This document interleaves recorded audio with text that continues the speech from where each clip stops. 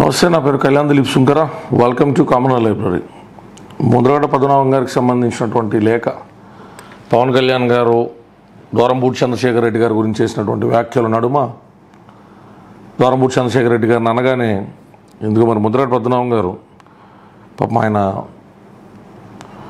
కాపు వనభోజనాలకో లేకపోతే కాపు ఉద్యమాలకో ఆయన వందలాది లారీలో బస్సులో అరేంజ్ చేశారని ఆయన కుటుంబంతో ఆయన చాలా సాన్నిహిత్యం ఉన్నదని. పవన్ కళ్యాణ్ గారు ఆయన మాటలు అదుపులో పెట్టుకోవాలన్నటువంటి టైప్లో ఆయన ఏదో మాట్లాడుతూ మూడు పేజీలు ఉత్తరం అయితే రాశారు. దాంట్లో చాలా విషయాలు ప్రస్తావించుకుంటూ వచ్చాడు ఆయన. ఉద్యమంతో కుర్రలు ఆయన రెచ్చగొట్టలేదని సూట్ కేసులకు అతను అమ్ముడు పోలేదని.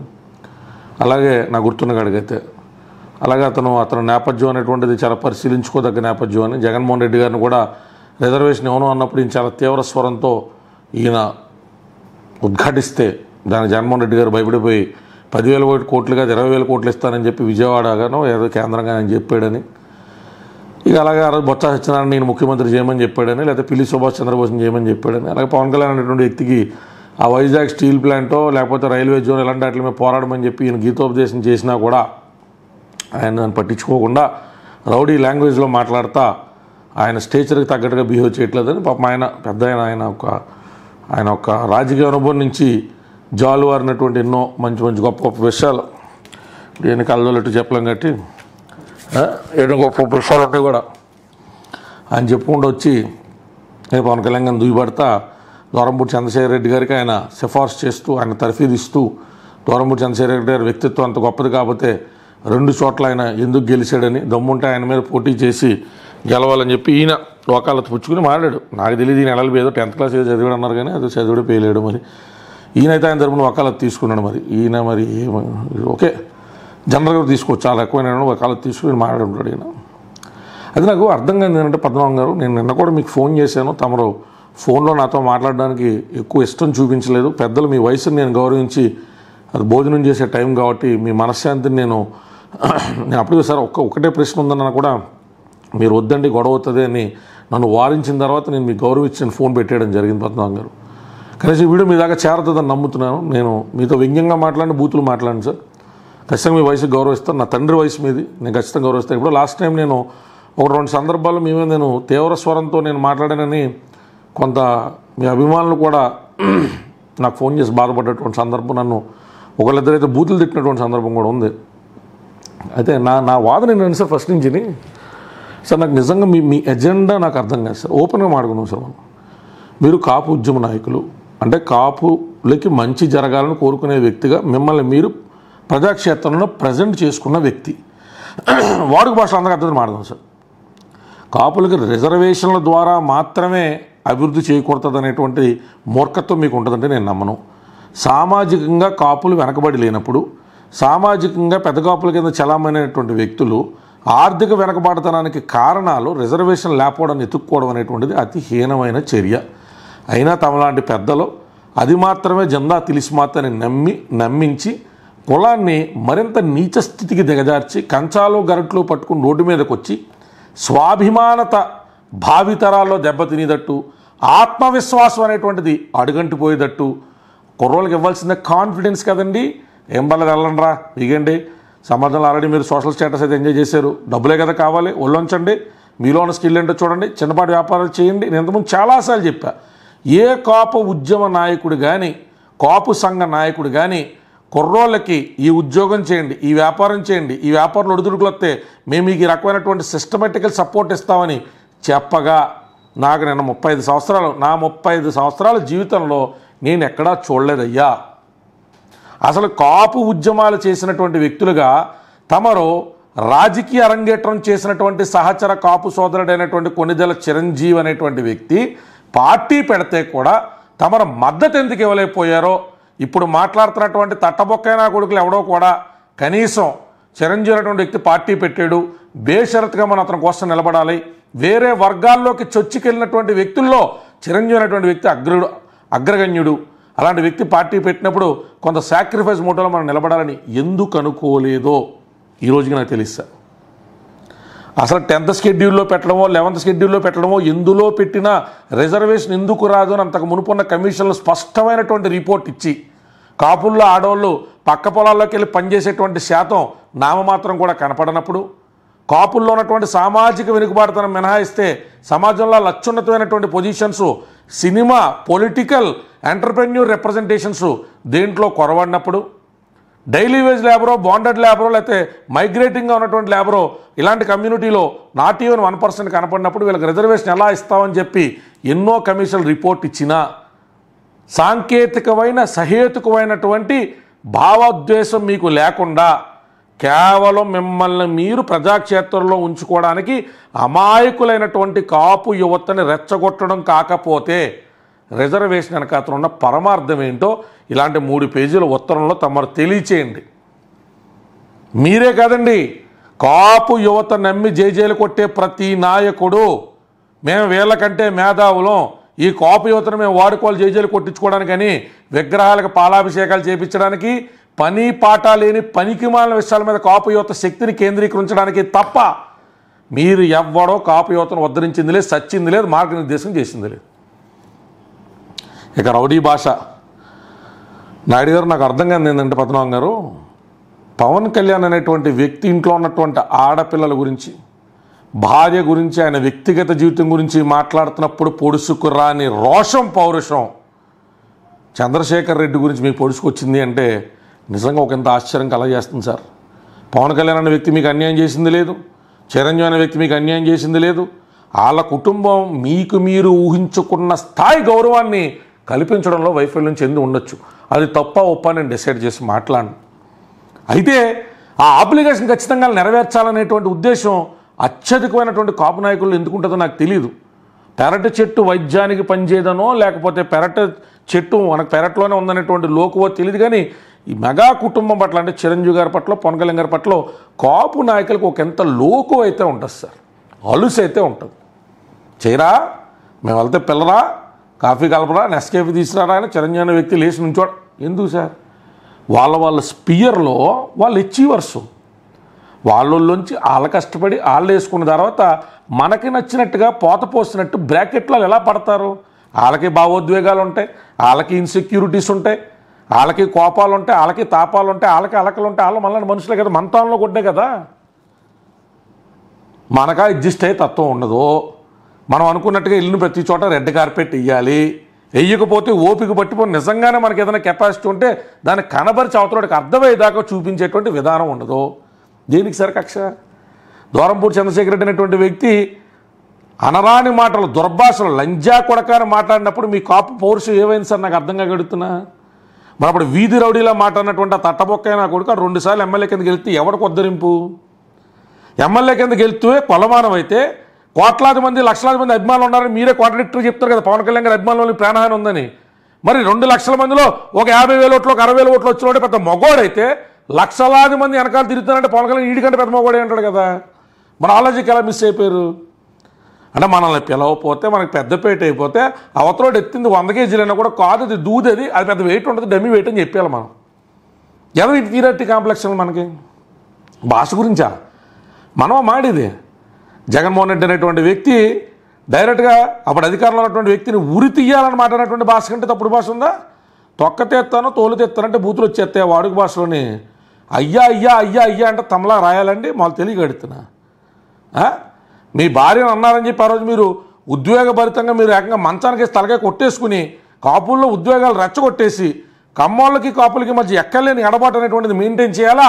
ఆ ఎడబాటులో నేను చలి కాసుకోవాలనుకున్నప్పుడు మీరు కమసామధ్య వరకు ఎవరితో మారకూడదు కదండి? మోహన్ బాబు గారు కూతురికి మీరు కొబ్బరి పువ్వు కొబ్బరి కాయ ఎన్ని ఎలా పంపిస్తున్నారండి? నేను అంతకుముందు అడిగిన మిమ్మల్ని. సార్ మీకు నచ్చిన ఫ్లేవర్స్ కులం మొత్తానికి నచ్చాలని మీకు నచ్చని కలర్స్ కులం మొత్తానికి నచ్చకూడదని దయచేసి అనుకోవద్దు సార్. మీరు ఆ భ్రమలోంచి బయటికి రావాలి. It is high time it is high time మీరు బయటికి రావాలి భ్రమలోంచి.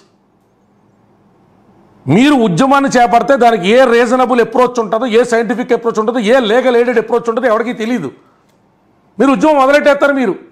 ఖాళీ కొన్ని కూడా రోడ్లు ఎక్కించేస్తారు మీరు. ట్రైన్లు తగలబెట్టినప్పుడు నివేదిక వచ్చిన దాని ప్రకారం వీళ్ళు ఎక్కడ వైసీపీ కొండలు తగలెట్టినట్టే కదా మీరు నన్ను ఒప్పుకున్న దాని ప్రకారం. ద్వారంపూర్ చంద్రశేఖర్ రెడ్డి ప్రోగ్రెస్ రెడ్డి కమ్యూనిటీ నుంచి వచ్చాడు సార్. మీలన్న నాలాగ ఎర్రి పుష్పం కాదు అతను. కాపు ఉద్యమం చేస్తాడు వాళ్ళని పంపుతాడు. ఎందుకంటే ఉద్యమం చేస్తుంది ఎవరి మీద? పక్క అధికార పార్టీ మీద. వాళ్ళ అపోజిట్ కమ్యూనిటీ మీద కదా కమ్మాస్ మీద కదా. ఆ రోజు మీరు చేసింది. దానికి లారీలు కావాలంటే ఇంకేమైనా సప్లై కూడా చేస్తాడో. పంతొమ్మిది వందల ఎనభై ఎనిమిది నుంచి మీరు పడుతున్నటువంటి కోపనాడు మీటింగ్లు కాదు నాన్న చేసిన వాళ్ళు తాత చేసిన వాళ్ళ ఎజెండా క్లియర్ సార్. మీ ఎజెండాలోనే రెడ్ ఫ్లవర్తోనం కనబడుతుంది సార్.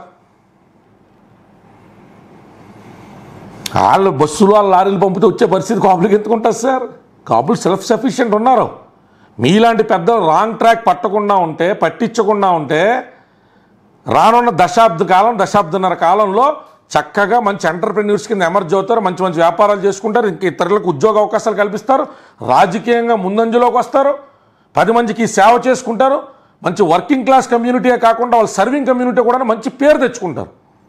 కొంతమంది దరిద్రులు దౌర్భాగ్యులు కాపునే కాపు కాపు యువత యొక్క మానసిక స్థితిని రైడ్ చేయకుండా ఉంటే రిడిల్స్ క్రియేట్ చేయకుండా ఉంటే పనికిమాల అసలు అన్ని కులాలు ఉంటారు కాబట్టి కాపులో ఉన్నటువంటి కొంతమంది స్క్రాప్ చెత్త పక్కన పెట్టేస్తే సమర్థతుండి మంచి వినగలిగి మంచి ఆలింగనం చేసుకుని ఎదరగలిగేటువంటి యువత ఖచ్చితంగా మంచి ట్రాక్లోకి వస్తారు. తమనంత ఆందోళన చెందాల్సిన అవసరంలా దూరంపూడి చంద్రశేఖర్ రెడ్డి కోసం సిఫార్సు చేయడం కానించి కాపు ఉద్యమ నేత కింద మీరు సూట్ కేసులు తీసుకెళ్ళలేదా? మరి ఏం చేశారు సార్? మీరు నాకు అర్థం కాగడుతున్నా ఏమైనా జగన్మోహన్ రెడ్డి పదివేల కోట్లుగా ఇరవై వేల కోట్లు ఇస్తానో నువ్వు ఇచ్చిన వెయ్యి కోట్లే చెప్పు. ఎంతమంది కాపు యువత నువ్వు అధికారంలోకి వచ్చిన తర్వాత అమెరికాలో ఆస్ట్రేలియాలో ఉన్నత విద్యల కోసం వెళ్ళారో చూపించు. నువ్వు కాపు సామాజిక వర్గానికి చేసినటువంటి మేలేంటి అనేటువంటిది అత్యధికమైనటువంటి శాతం ఉన్నటువంటి వ్యక్తుల కింద కాకుండా కాస్త అవకాశం ఇస్తే ఇప్పుడు పర్మనెంట్ ఎజెండా ఏంటి? రాష్ట్రాన్ని కుల కోణంలో తీసుకెళ్ళిన ఇప్పుడు ఎస్సీ ఎస్టీ సప్లైన నిధులు ఉంటాయా? లేదా ఇంకొక నిధులు ఉంటాయి ఇంకొక కార్పొరేషన్ పెడతారు. దాని నేను ఎజెండా ఏంటి? దాని ఎజెండా సమాజంలో ఈ కులం పేరు మీదో ఈ మతం పేరు మీద కొన్ని మతం పేరు మీద సబ్సిడీస్ ఉంటాయి కదా వీటిని అమలు చేయడం వల్ల సామాజిక సమతుల్యత ఆ ఈక్విలిబ్రియం అనేటువంటిది ఎస్టాబ్లిష్ అవుతుంది అని ప్రభుత్వం తరపున ఒక పథకాన్ని రూపొందిస్తాం. మరి కాపు కార్పొరేషన్ ద్వారా ఏమి ఈక్విలిబ్రియంని రిస్టోర్ చేశాడు? Honourable chief minister Jagan Jaganmohan Reddy. ఎప్పుడు దాని గురించి ఎందుకు మాట్లాడడం ఎందుకు మాట్లాడరావు మీకు? మీ గౌరవాన్ని ఎవ్వరు కాల్చక్కల మీరే కాల్చుకుంటారు.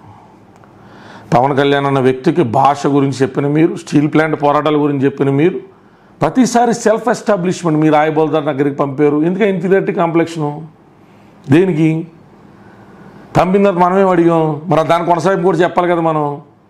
మరి అదే రాయబారులు మరి మీరు అడిగారు అడగలేదు. బయటకు వచ్చి ఐదు సీట్లు అడుగుతున్నాడు పద్మనాభం పది సీట్లు అడుగుతున్నాడు పద్మనాభం. ఒక జిల్లా మొత్తం నేను నాకు అప్పగించాలంటున్నాడు పద్మనాభం అని చెప్పి చెప్పినటువంటి వ్యాఖ్యలు కూడా ఉన్నాయి కదా. అదే రెండు వేల పంతొమ్మిది ఎన్నికలకు ముందు.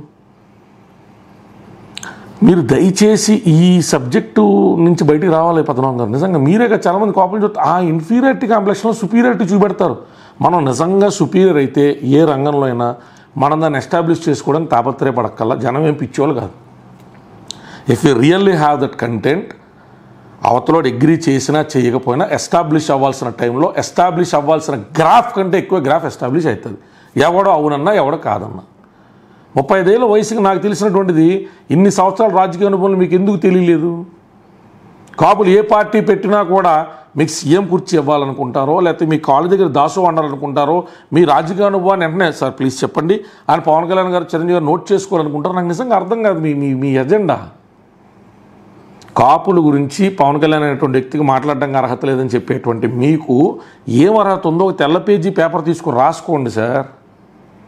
ఏ నిధుల కోసం తమ పోరాటాలు చేశారు? ఏ ఉద్యోగాల్లో కాపులకి అప్లిఫ్ట్మెంట్ కోసం తమ పోరాటాలు చేశారు? వైట్ అండ్ వైట్లు వేసుకుని మీలాంటి పెద్దలు చేసే రాజకీయం మాకు అర్థం కావట్లే it is being very complex మాకు నేరుగా జరుగుతున్న ఉపయోగం ఏంటో చెప్పండి సార్.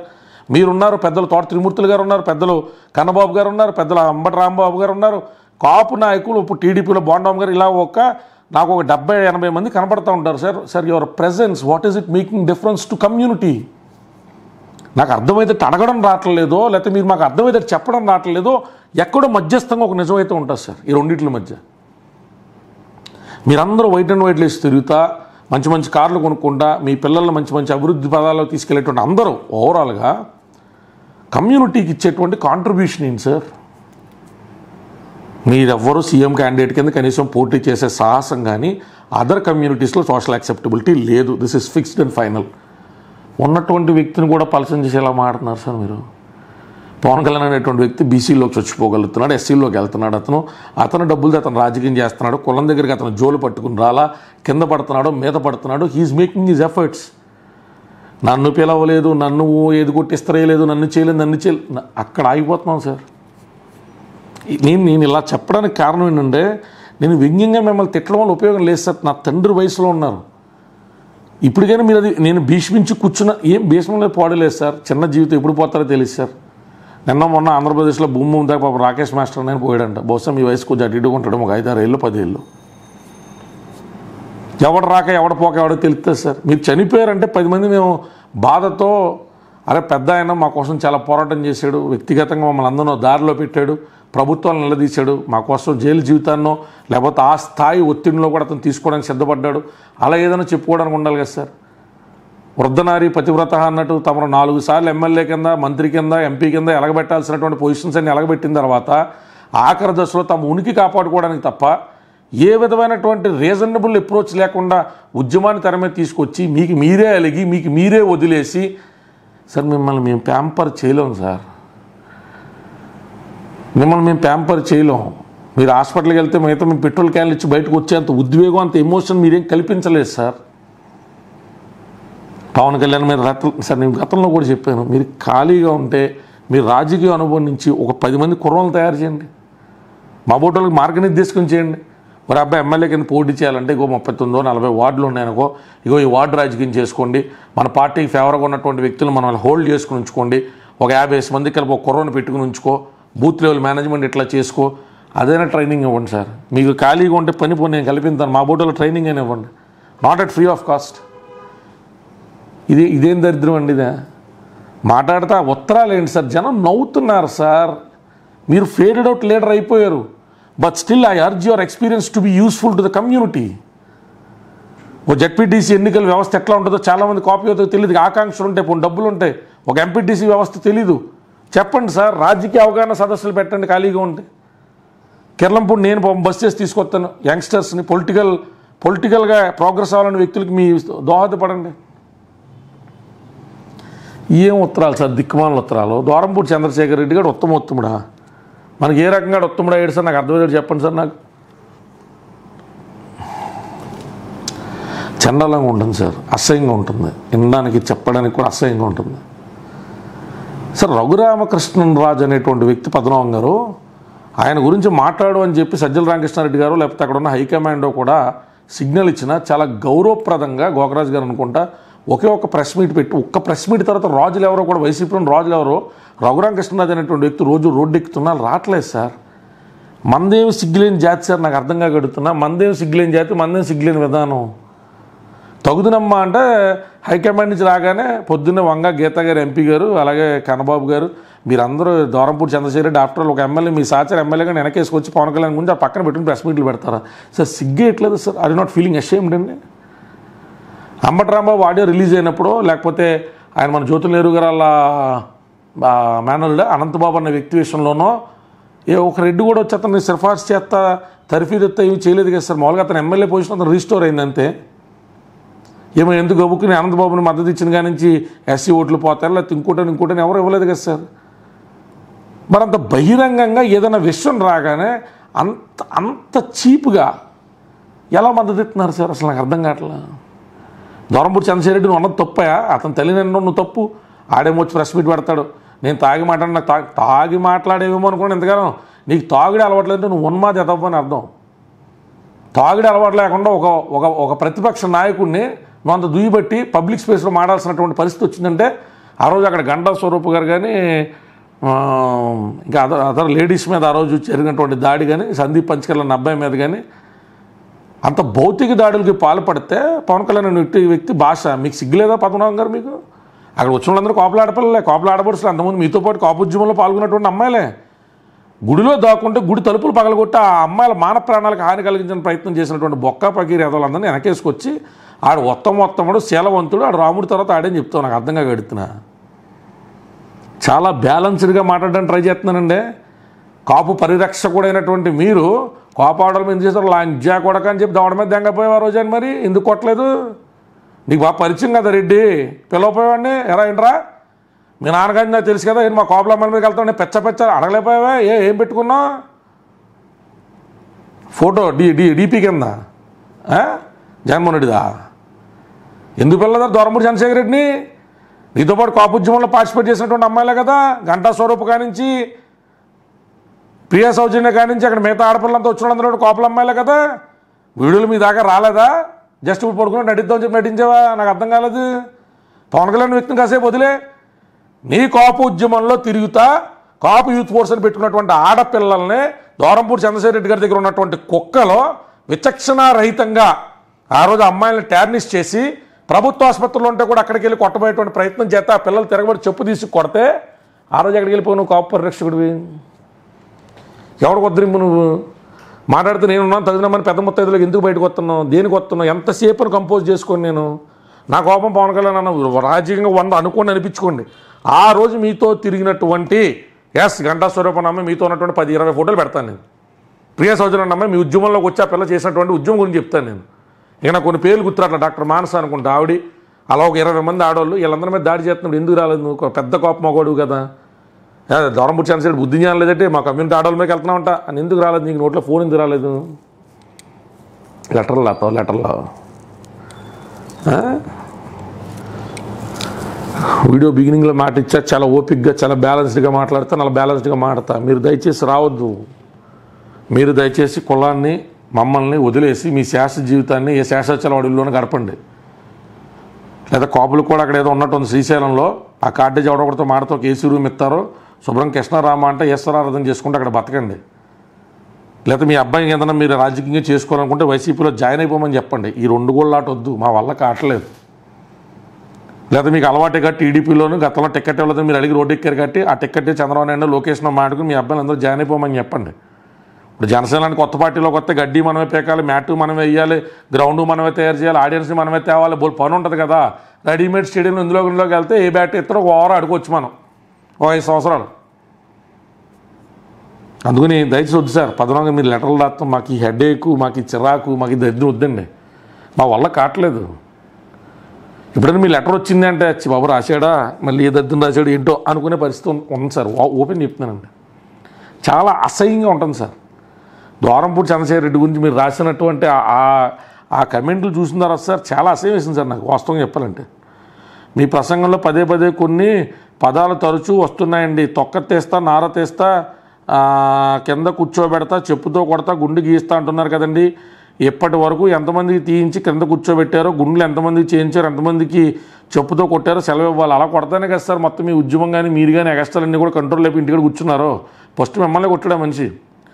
మీ రాజయాత్ర కాకినాడ శాసన గవర్నర్ చంద్రశేఖర రెడ్డి గారు తండ్రి భాస్కర్ రెడ్డి గారిని తాత కృష్ణారెడ్డి గారిని వారిది తప్పుడు మార్గాల్లో సంపాదన అనే మాట చాలా తప్పు కళ్యాణ్ గారు.